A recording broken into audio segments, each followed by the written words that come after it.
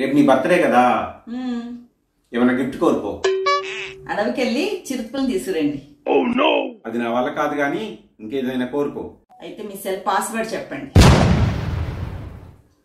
నన్ను రేపు పొద్దున్నే లేపు. దేనికి? అడవికి వెళ్ళాలి ఏమండి మీకు తెలుసా? మా ఫ్రెండ్ వాళ్ళ ఇంట్లో పట్ట పగలే దొంగలు పడి అన్ని వస్తువులు తీసుకుపోయారు. ఒక్క టీవీ తప్పించి.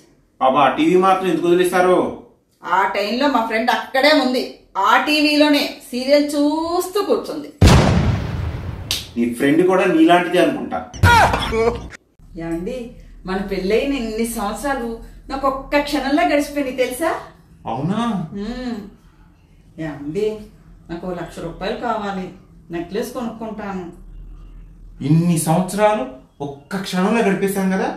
ఇంకా ఒక్క క్షణం ఆగు. నువ్వు అడిగిన లక్ష రూపాయలు ఇచ్చేస్తా oh, no, no, no, no.